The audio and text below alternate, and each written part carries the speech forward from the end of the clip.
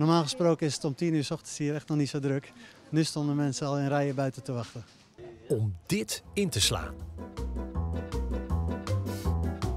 Dit gebeurde echt bij de Utrechtse Plus op de Amsterdamse straatweg. En dat verliep niet vlekkeloos. Oh, vecht op wc-papier. Een, een korte periode is het eh, niet leuk geweest. Dat mensen ook eh, medewerkers van mij hebben uitgescholden. Of eh, ruzies onderling met klanten. En die chaos kwam allemaal door deze superdeal. Nou, normaal gesproken kost een, eh, kost een zes rollen paasje toiletpapier 4,25. Deze week maar een eurotje. Dus dat is eh, 76% korting, dus wel de moeite waard. Maar wie nu naar de super gaat, staat iets anders te wachten.